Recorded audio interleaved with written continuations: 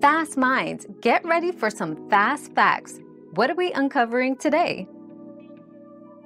For a principal of 1 lakh, 100,000 at a 7% annual interest rate, the interest for one year would be 7,000 rupees.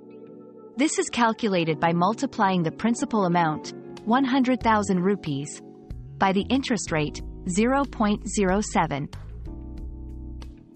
Our quest for knowledge never ends. Thanks for being part of today's discovery. Subscribe, like, and share to join us on the next one.